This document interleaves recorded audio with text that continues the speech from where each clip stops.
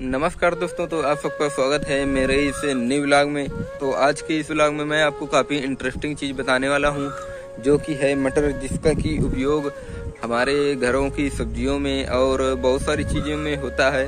और इसका मुख्यतः उपयोग जो होता है, वो चाट बनाने में होता है, जो कि चाट हम सब लोगों का सबसे ज़्यादा पसंदीदा चीज़ होती है चाट को। हर कोई खाता है, लेकिन बहुत कम लोगों को पता होता है कि मटर की खेती किस तरह से होती है और उसके पौधे किस तरह से होते हैं। ये ज़मीन के ऊपर पौधों में पाया जाता है तो वो पौधे मैं आप सबको अभी दिखाने वाला हूँ।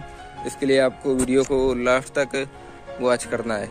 तो ये आप लोग दोस्तों कुछ देख सकते हैं कि इस तरह से जो मटर के पौधे होते हैं, वो हैं और ये पौधे काफ़ी ऊँचे हो जाते हैं। एक फीट या दो फीट तक कभी कभी हो जाते हैं और ये जो आप लोग देख सकते हैं, इसमें मटर का फूल भी लगा हुआ है। इसी फूल के बाद में इसमें कली आएगी और उसी में मटर जो है वो लगेगा।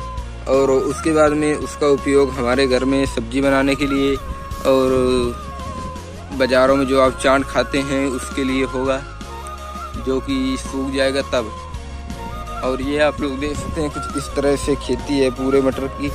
जो कि अपने ही खेत में है, कुछ लास्ट तक आप लोग देख सकते हैं, उधर तक है ये। तो ये कुछ इस तरह से मटर के बड़े वाले पौधे हैं, जिनमें कि मटर लगे हुए हैं। उनको मैं आपको थोड़ा दिखाना चाहूँगा। ये आप लोग देख सकते हैं कुछ इस तरह से जो मटर के पौधे हैं, उनमें मटर लगे हुए हैं, जिनमें कि अभी दाने नहीं है। कुछ मटर में जो कि आप लोग ये देख सकते हैं, दाने निकल चुके हैं। तो अभी मैंने आपको दिखाया कि मटर की खेती किस तरह से होती है और ये जो छोटे छोटे पौधे हैं, वो भी मैंने आपको दिखा दिए हैं और जो बड़े पौधे हैं, जिन पर मटर लगे हुए हैं, वो भी मैंने आपको दिखा दिया है। आज के इस ब्लॉग में इतना ही और भी इंटरेस्टिंग चीज़ों को देखने के लिए वीडियो को लाइक कर देना और चैनल को सब्सक्राइब कर देना। तब तक के लिए जय हिंद, वंदे मातरम।